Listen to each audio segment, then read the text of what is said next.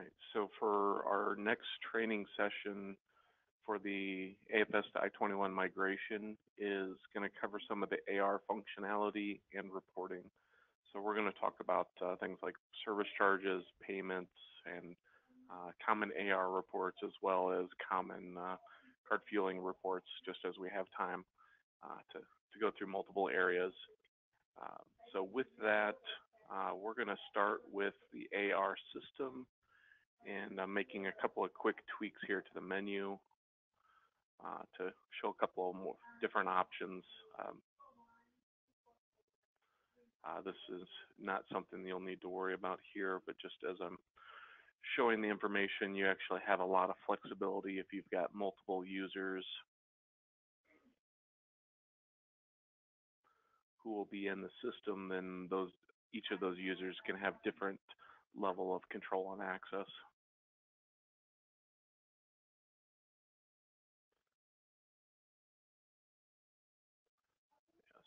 Service charge items were not in there.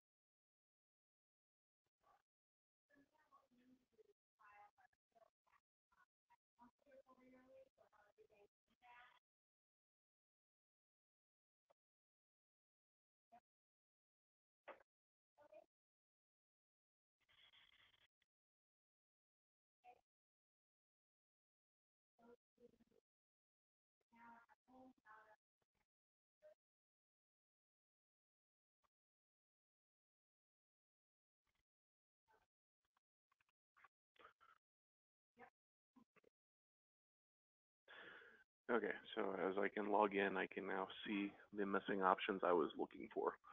Okay, so back to what we were looking at was uh, working on the uh, service charges and payments. The prior week, we actually talked about the card fueling invoice and formatting, and typically the service charges are done in advance of that, uh, but they can be done once a month or per billing cycle, depending on your needs. So from here, we can actually set up the service charge settings, and a lot of this will get uh, brought over from the uh, auto fueling system with a base setting for you. but just to talk a little bit about some of the related setup, because there may be some options that you may want to utilize more. Um, one of those options is we can uh, have different service charges if they're flat amounts, if they're like you wanted to do a late fee, uh, or a percentage is the most typical. Uh, you can also choose whether or not you're going to do that on a daily basis uh, or a monthly basis. So if you notice there's a, an annual percentage rate that can be converted to a daily rate, uh, and you can extend a minimum grace period. Uh, so if somebody made a payment uh, two or three days late and you still wanted to um, forgive them of any service charges for that, you could extend a grace period uh, to avoid, you know, a check in the mail delay.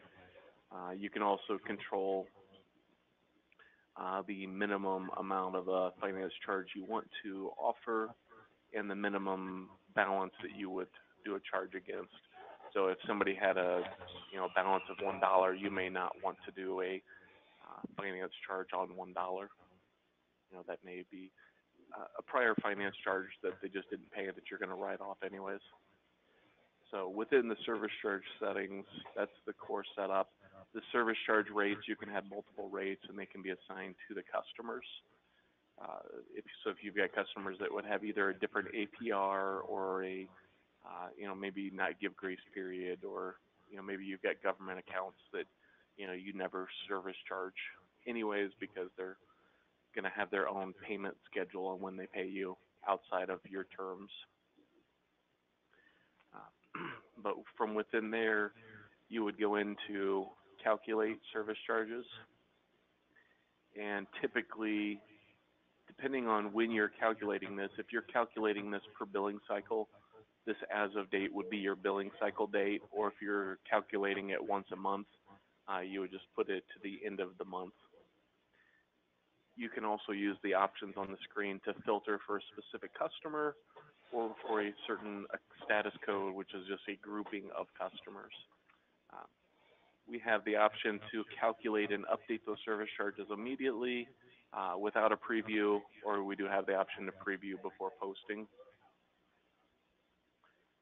And I'm going to make a quick setting here to get uh, my default uh, location done. It is using a user's default location to create those invoices.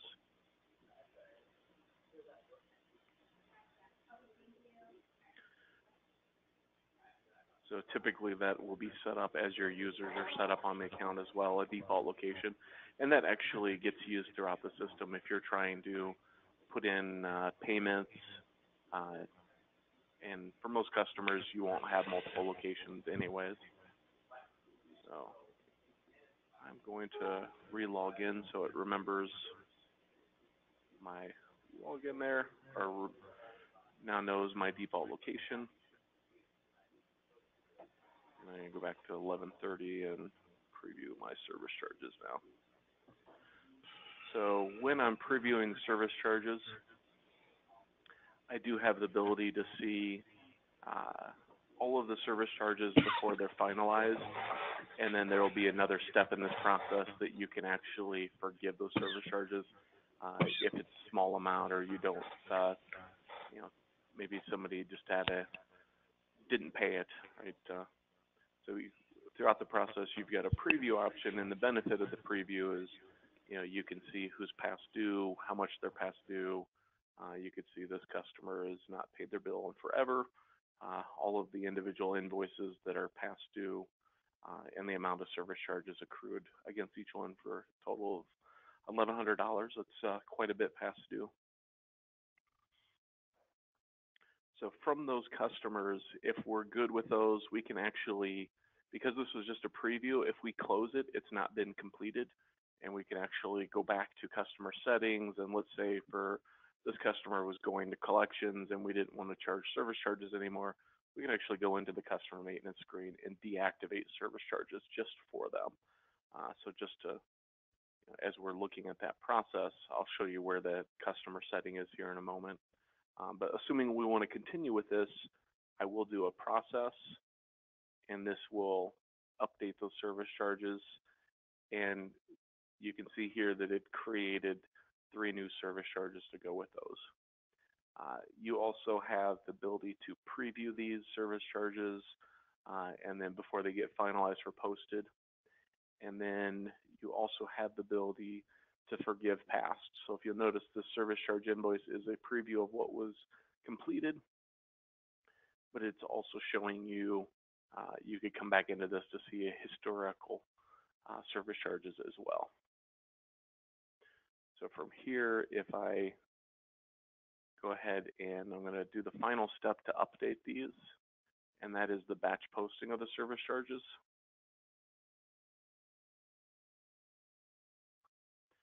And so from here, uh, we've got quite a bit of demo data in the system uh, that's out there. But at the very bottom, I've got my three service charges.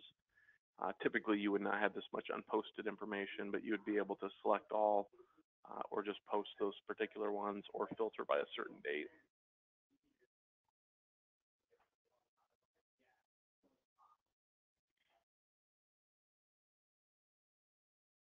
Okay. So with those service charges posted now, if we go back into the AR menu to the service charge invoice, we'll now see that those three service charges are posted and we can actually choose to forgive uh, posted service charges only. So in this one, we've got this option here. It's not for been forgiven, but if I select that, hit the forgive button at the top, then it's going to mark that and reverse out the service charges on that customer's account. These service charges will show up on the statement for those billing cycles. So that's why this is typically done in advance of those customers um, of sending the statement. So if there was any new finance charges to be included, uh, you know, you'd want to calculate those first and then send them on the statement. Any questions on service charges? Uh, I had one other thing I was going to show, the customer specific settings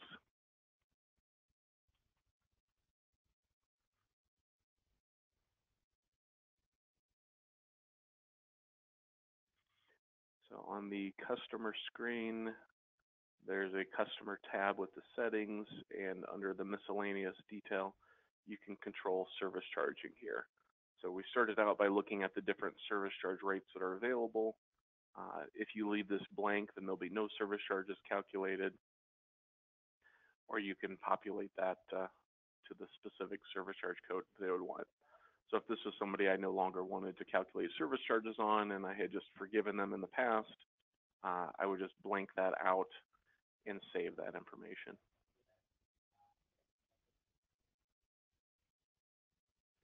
So then from here on the audit log, we can actually see us, you know, the old value taking off the service charge code uh, to a new value of it being blank. Uh, service charges can be forgiven at any time as long as they have not been paid. So if you wanted to turn around and forgive a new service charge at a future date or cleaning up an old past due account, um, that you finally collected on and wanted to forgive the service charges, that is another way of you know coming in here and just selecting one of those accounts and hitting the forgive option. So all of these service charges, you'll notice have a prefix of SC for service charge. So the next area, um, let's see if there's any questions on calculating or producing service charges before I move on.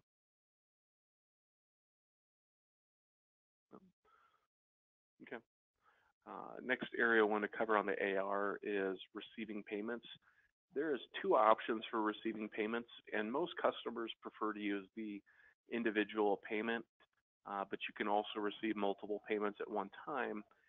And so I'll, I'll show you this one briefly, and then I'll jump to the next option here. Uh, but to receive multiple payments, this is giving us all of the customers at once. So if you notice, anybody who's got open receivables is going to show up on this grid, and you could filter it down. So if I was looking for uh, all you need quick stop, who obviously had some finance charges, so they're going to have quite a few options and invoices out here. We can see here's the service charge that we just calculated, and then here's their prior invoices.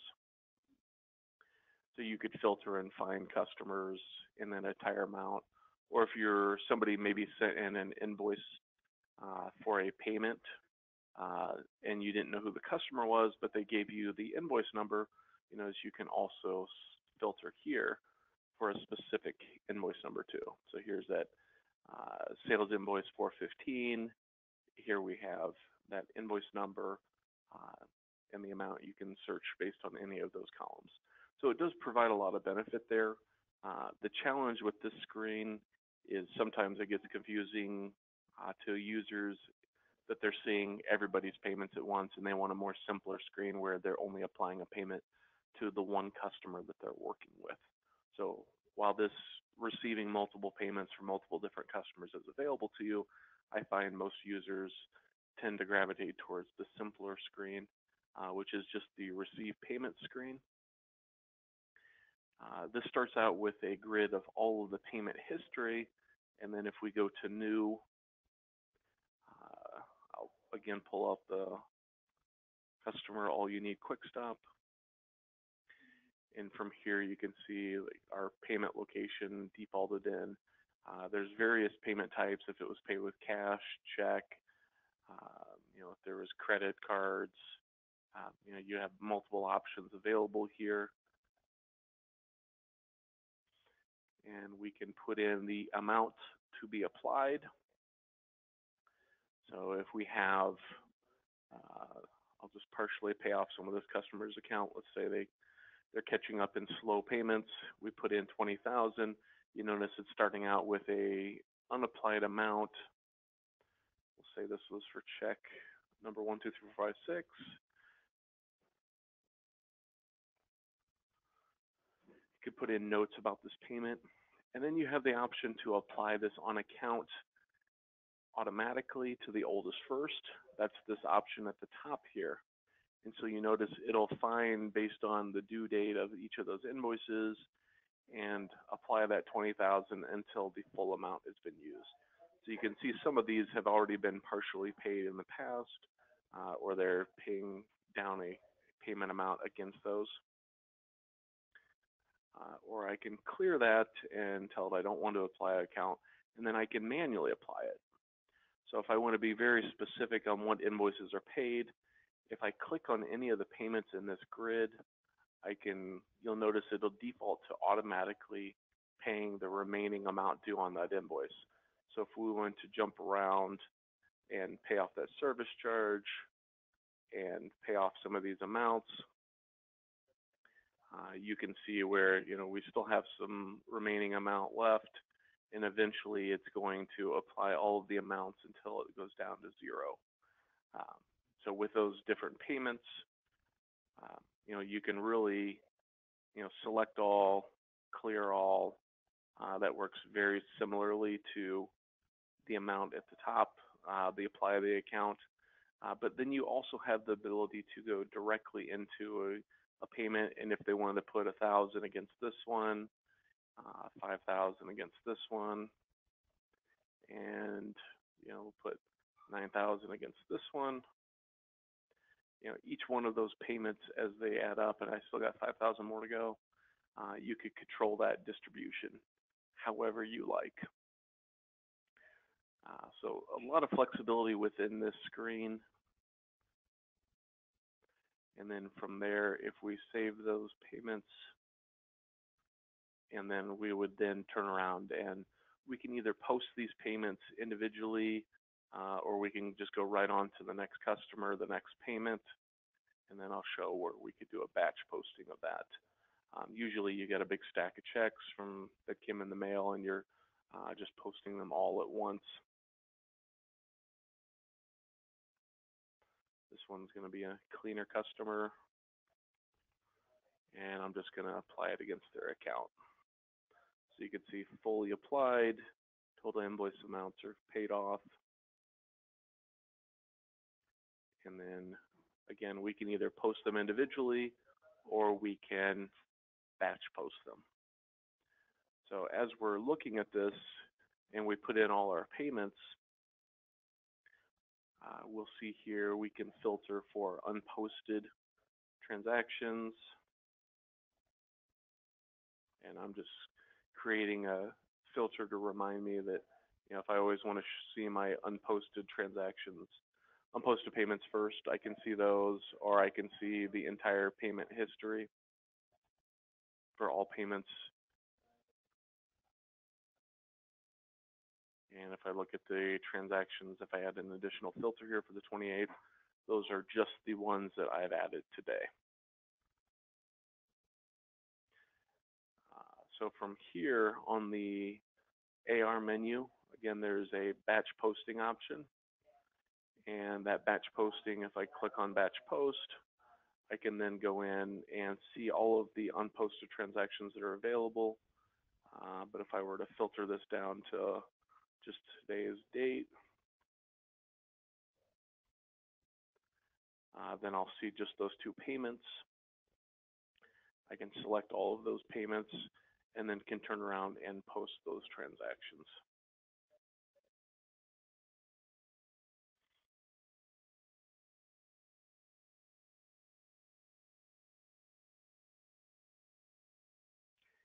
Is there any questions on the payment entry process or the two different screens with the different options for receiving against one customer at a time or receiving against multiple customers?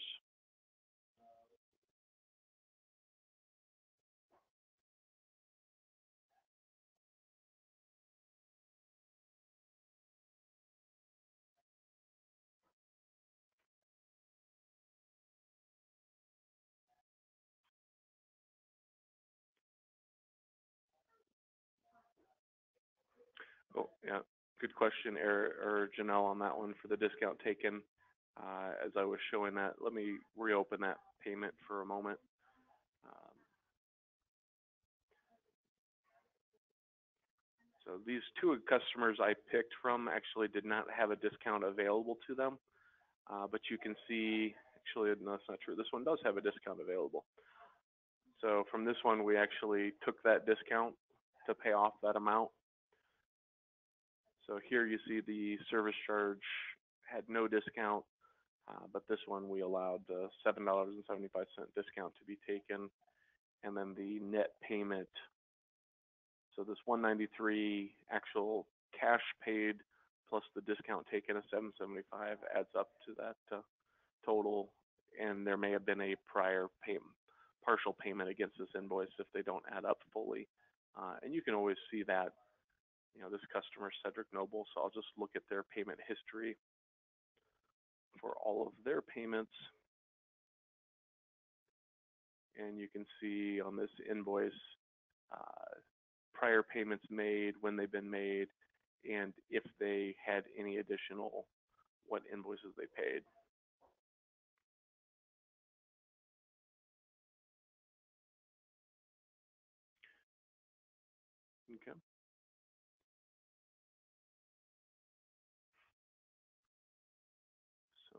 Last area here just to show uh, if you're posting them, uh, and this is a another key area of the system.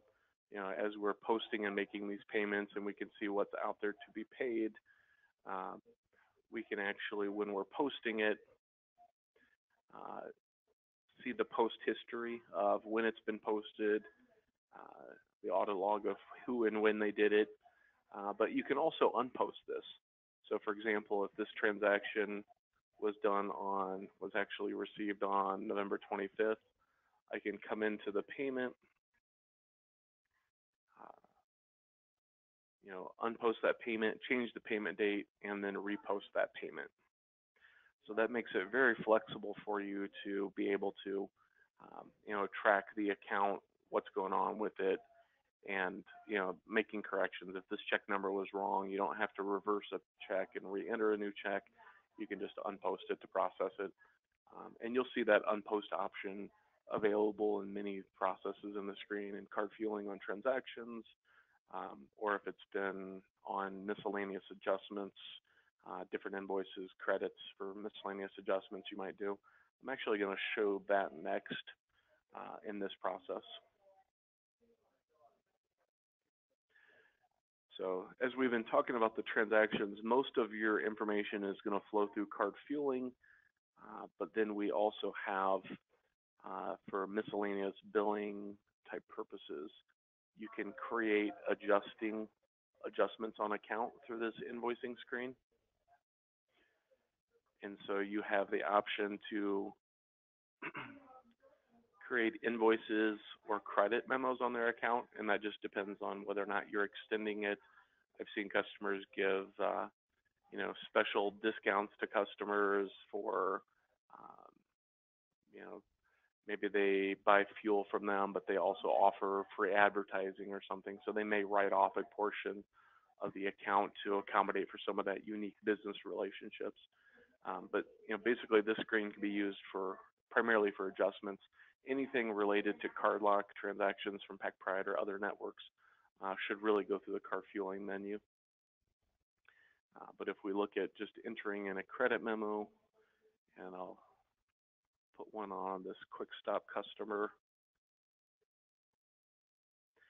And you'll notice most of the information will default from that customer settings, you know, what the bill to address is, ship to address is, uh, any of that information and we can go into item numbers. And usually, if we're doing item numbers, uh, this is not typically going to be your products, but you might have um, miscellaneous. So, for example, maybe this is your own trucks and you're writing off fuel expense. That might be one example of a, uh, a credit that you would offset an account. So you would have different items for these different adjustments. We would help get those set up for you and uh, as you need them. Uh, but then that price you know, can be the total amount of the adjustment. So here, if we're going to hit fuel expense for $500 for the account for that period of time, uh, we can save that. And if there was multiple types of adjustments we wanted to do on one, we could actually put multiple adjustments there. We can also put comments so if we wanted to be able to print out uh, invoice detail adjustment to them, uh, that information.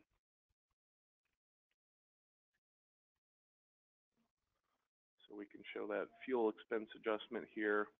And I'll just go ahead and print a copy of this credit memo just so you can see what some of the formatting looks like.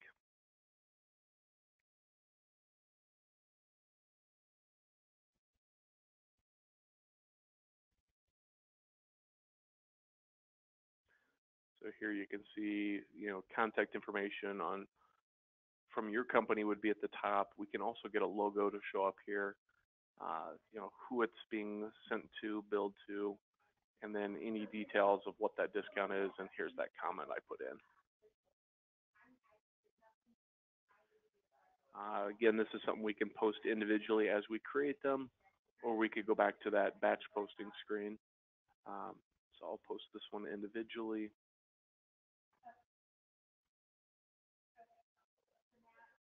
It just depends on how you want to review it. You know, typically if you have a stack of paperwork that you're reviewing uh, the data in, uh, like checks are very commonly done as a batch posting because you want to see the totals of that batch of how much you're going to deposit at the bank account, whereas miscellaneous adjustments might be posted individually as you go. Uh, but this same transaction again has the unpost option. So if this, we saw this was $500, uh, but we actually had a mistake on there, and it was only supposed it was actually supposed to be 550. We can save those changes, repost those changes,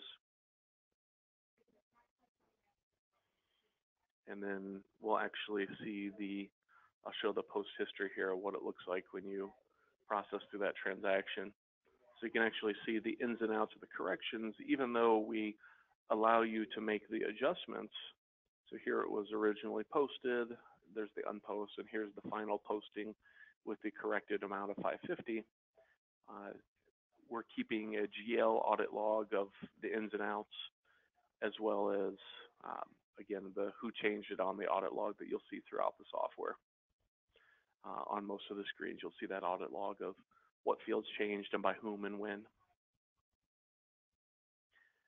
So probably the most unique thing about the credits or the different adjustments uh, comes down to the items. And just, you know, if I go in here one more time and look at some of these fields and settings, um, you know, these items are all maintained and defined. Um, these are ones that I had in the sample database. Um, but this is something that's quite a bit different than auto fueling. Auto fueling just had a miscellaneous adjustment and you could put in a comment for the adjustment type. Uh, this is a little bit more, uh, you know, meant to be simpler on data entry so that you you do a little bit more setup up front, but it makes it easier to categorize your adjustments and run reports on them later. So that means something like this fuel expense, if we wanted to cancel out of this one, but if we go into our inventory module, we can actually go into the inventory items. And as we look, I'll bring up that fuel expense item. Probably the easiest thing to do uh, when you're searching for items or if you want to set up new miscellaneous adjustments is to be able to take an example of it. Uh, take an existing record and then you would just use the duplicate option. So once you've duplicated a record, you can turn around and have this be uh, uh, looking for creative miscellaneous. Uh, there we go.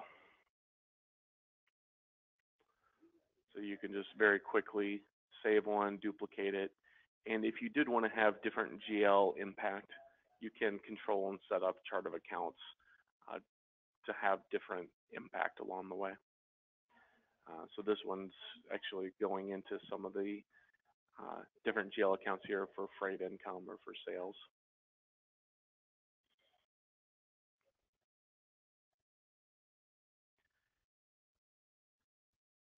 Then if I go back into sales and do a, back to the invoicing screen, I can do a new miscellaneous adjustment.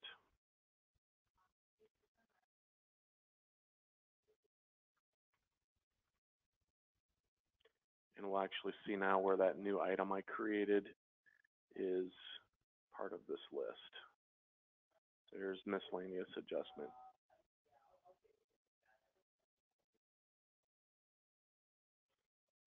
And I'll just finish out another one of these miscellaneous adjustment for ten dollars.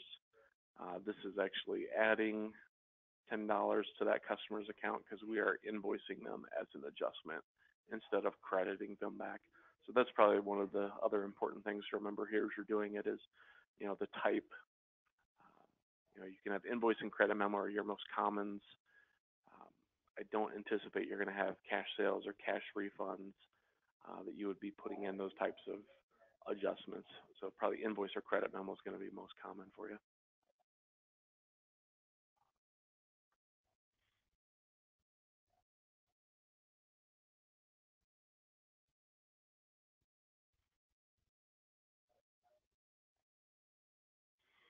Okay.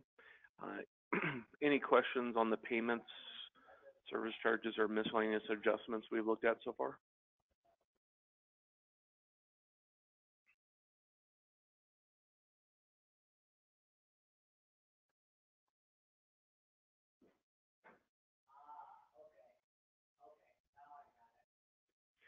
Okay. If there's no other questions, then I'm going to uh, move on to the next area, which is just going to be common reports. I'm going to review some of the AR reports that are most common, uh, and then I'm going to turn around go back to card fueling, and rerun some of those reports that are um, pretty common as well, uh, or just show different ways of getting information out of the system.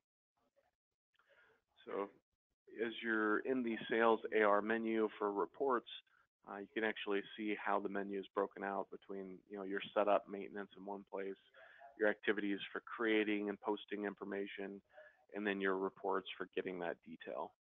Uh, so there's a couple of reports available, but specifically uh, the most common one is the customer aging report. Everybody wants to know who their customers are that are past due and how far past due. There's two report options here. One is a customer aging in summary, which is, uh, I'm going to generate some of these reports. So you can put in additional parameters and you can actually rerun a customer aging as of any date. So if you wanted to go back in time and see what was uh, a customer aging report as of the end of October 31st, you would be able to do that and it would calculate uh, based all the, the dates and payments that happen afterwards. It would back into a an accurate customer aging as of a specific date in the past uh, or running it for a current one. And then you can also see if we just expand this out a little bit further, we have some additional filtering options on you know the customer name if you want to run it for a certain customer, uh, salesperson, type of transaction types, or uh, you know print people with balances only, or if we wanted to see um, you know print anybody with a balance, or if we only wanted to see customers who might be a certain past due amount or only customers over credit limit. Uh, so you can, you know, tweak those adjustments there to be able to show more information. So I'm going to go ahead and generate this just so we can see the format. Uh,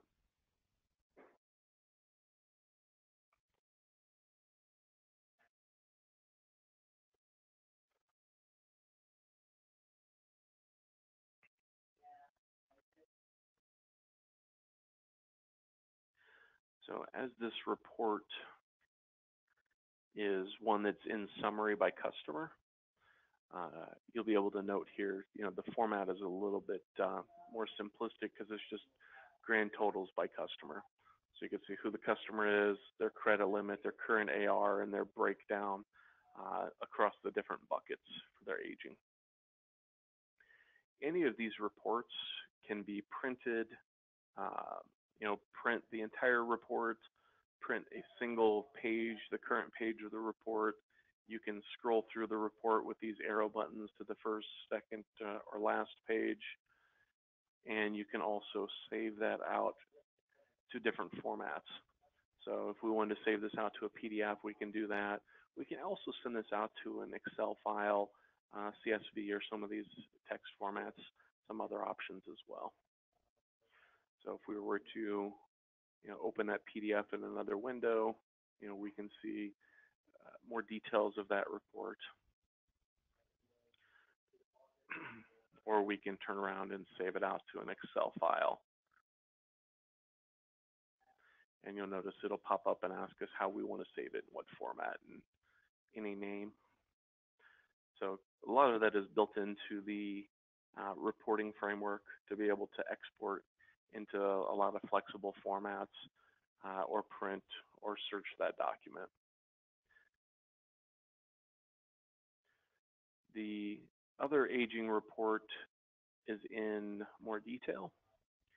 And so, you know, similar criteria at the top for filtering. Uh, but you'll notice here, if we go to generate this, this will actually give complete AR details by invoice, by transaction, uh, to the point that, you know, as we're looking at the customer and saying, okay, well, you know, if we've got this much activity, uh, you know, and we want to see all the detail of that balance and how, where that lies, uh, you know, if you're trying to collect somebody, you may want to know the detail what those invoices are. So this is just an alternative report with the full detail of, you know, here's the invoices owed, uh, any other credits, adjustments. Let me go to uh, Cedric.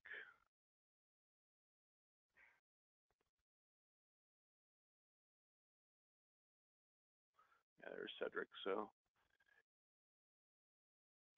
that example, that payment I put in actually did not post them from earlier, so they're still showing some balance due uh, for that customer account for Cedric.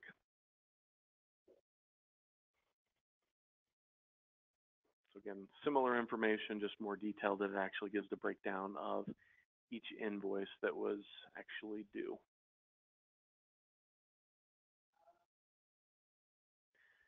Uh, there's some other areas we can get into uh, customer inquiry reports, just giving quick recaps of a customer.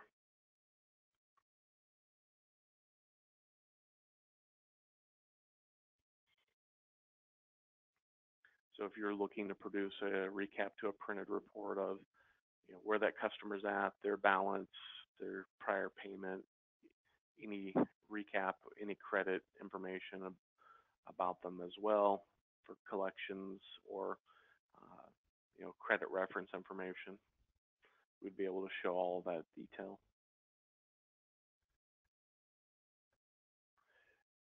And uh, customer statements, uh, you probably will not be doing customer statements from here because you'll be most often doing the embedded statements uh, that's part of the card fueling invoicing billing cycle process. It can also include the statement as a cover page. Uh, but at the same time, you may look at invoice history or payment history if you just wanted to see a customer report uh, recapping all of their activity. So I'll just run this for, these are typically ran for a single customer over a period of time. Uh, so I left it wide open, not necessarily knowing how much activity I'm going to have out there. Uh, but you'll see on this report, you, know, you could filter by date range as well. But you can see all of their invoices, the date those invoices came, and then any payments that were applied against them. So here, this payment uh, 43 was applied to the sales invoice, as well as you can see on a couple other ones. So this report is similar to the next report I'm going to show you, except for this is sorted out by the invoice first, and then how payments were applied to it second. Uh, in the case of the payment history report, this flips that order. So it's going to show by payment how each one of those payments was applied.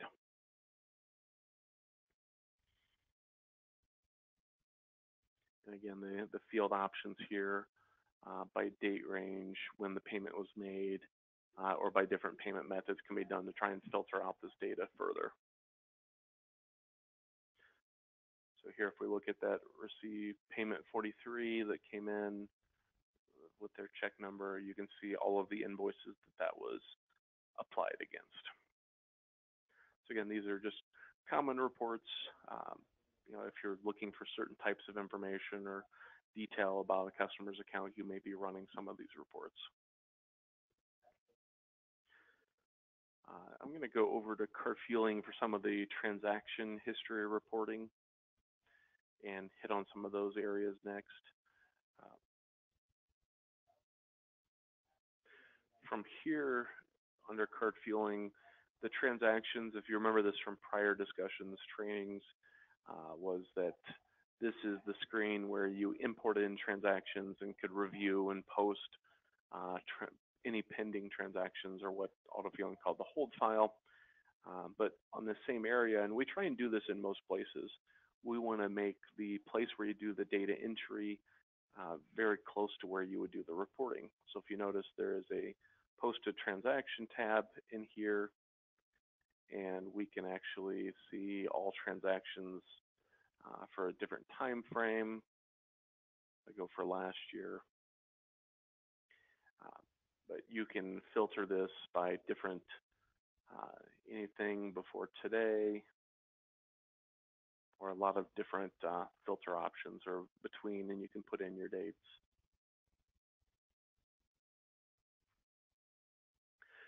So anytime you see a grid like this as a report, um, you know, we consider this a reporting grid and it has a lot of built-in flexibility, uh, meaning that you can sort, filter, and fine tune on any column that's displayed and you can also right click and show more columns. So if I was looking for something to the city of Fort Wayne, I can do a couple of things here. I can drag this filter up here for customer name and then I can type in there what I want to search for. So you can see that says contains city of Fort Wayne.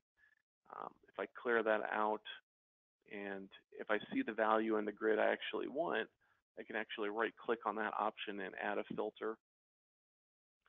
And you see here it'll automatically uh, get that filter there uh, with the value that I had selected. Or if I wanted to drag and drop, I can drag and drop that marble services up here and apply that same filter. Uh, you can also change, you can hide columns, so if customer number doesn't mean a lot to you, you can hide that column.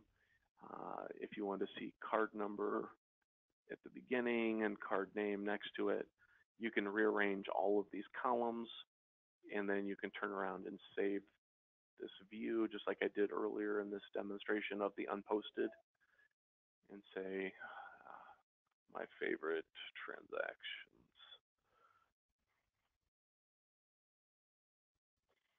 And once you save those, you'll notice that you get a uh, grid over here that goes with that. Um, so the next time you come in here, this posted transactions will refer, uh, revert back to a default view. Uh, but anytime you go look at my favorite transactions, it'll always remember uh, you know, how you had those settings uh, set.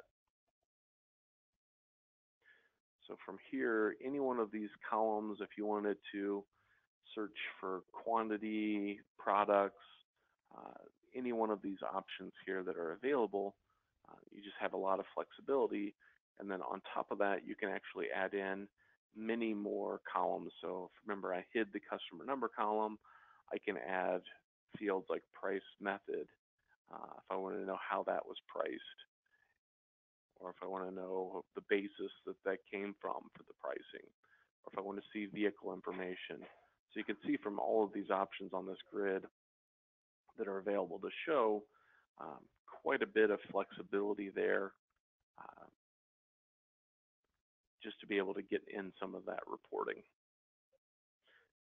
So from here, if you wanted to see, oh, that came from a price profile, uh, you know, you see all that information. Any columns on here, any column can be filtered, any column can be sorted uh, or grouped.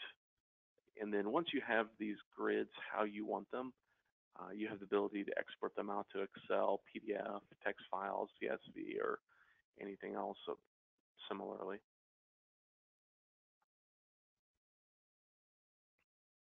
So there you can see that uh, exported grid went out uh, to Excel in a CSV format.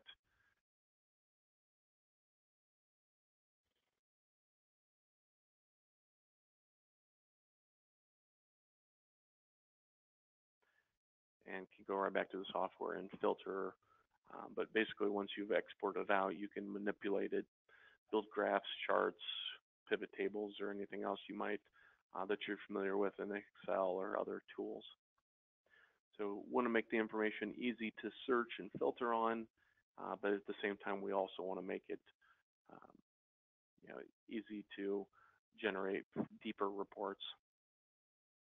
Uh, we also have a couple of common reports in summary. So anything in auto fueling that you did with detail would be this transaction grid. The summary reports, uh, we created uh, unique reports for those. So if you want activity by customer, activity by site, you want to be able to see those types of details. Um, I'll just generate one of these reports here for us.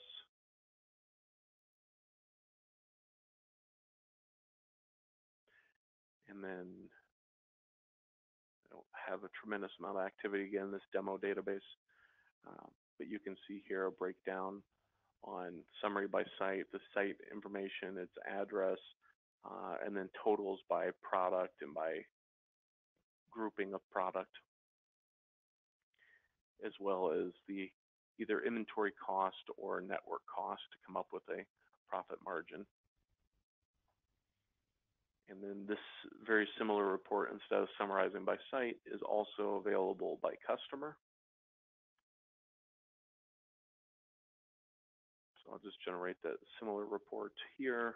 So looking at by customer, we can see the customer number, the name, and that uh, primary contact at that company and see their activity.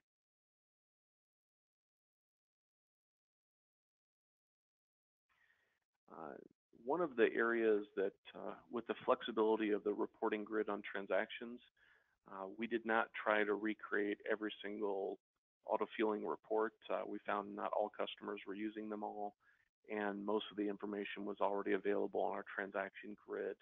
Um, so as you're playing around with the system, you want to look at, uh, you know, going into the different reports that are available. And uh, because we didn't replicate everything out of auto fueling, I would highly recommend that you look at those uh, reporting options and determine if there's any reports that auto fueling has that you can't quite get the same information out of the system and let us know. Uh, and then we'll work to uh, replicate or get uh, similar functionality for those reports. We've just been uh, trying to work on those as they're identified rather than build every single report uh, from scratch uh, to match what auto fueling had when it seemed like more work than probably what was needed for underutilized or unused reports.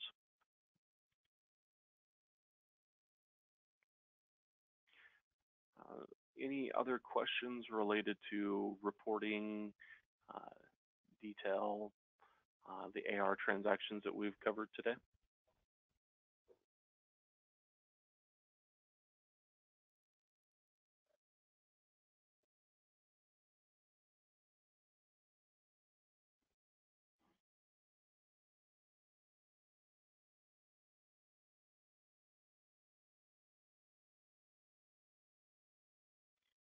I'll, I'll hold to see if there's any chat questions or any other questions uh, for a moment or two, but uh, if not, I'll uh, have, we'll upload this recording to our YouTube channel and share that with everybody.